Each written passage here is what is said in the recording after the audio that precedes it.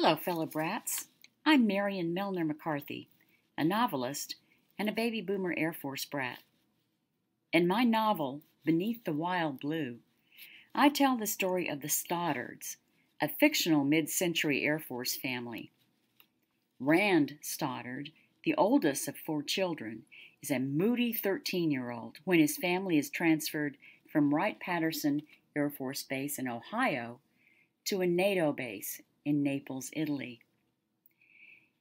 Rand is sick of being the older brother to his two ridiculous little sisters, and he's a little disgusted that he's always got to be a part of this traveling family, spit shined and ready for the next adventure. Here are Rand's thoughts as he's aboard a Pan Am flight about to land in Rome. The airplane trip was an embarrassment sitting next to one screaming brat sister and one fat, fawning one.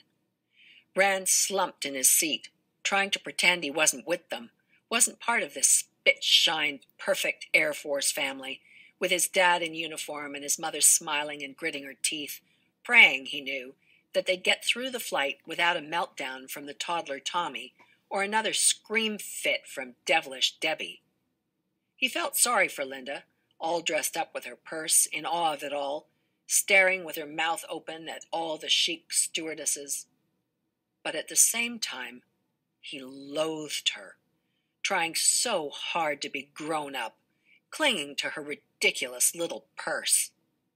He closed his eyes and tried to wipe them all from his mind. Ladies and gentlemen, we are descending over the city of Rome on course for our landing at Fiumicino Airport. Those on the left side of the cabin can see the sunrise over the Tiber River, the bridge, and some of the buildings in the city. He was on the left side, and he was already taking it in. Below, it was as if the world he imagined had come to life. A splendid, glittering river, a city with spires and peaked roofs, a graceful bridge and barges, no shopping malls, burger chefs, or motels with flamingo signs. He was arriving in Europe, a timeless place that had seen great wars and great triumphs, a place of beautiful buildings in cities that glittered at sunrise, a world, from this view, as Jules Verne might have imagined, a place of substance, yet a place of dreams. The chatter of his sisters faded. The drowsy sullenness subsided. Rand felt himself wide awake, eager as a child, longing to experience all that was ahead. You've just listened to an excerpt from my book, Beneath the Wild Blue, narrated by Robert Robin Sigerman and available on Audible.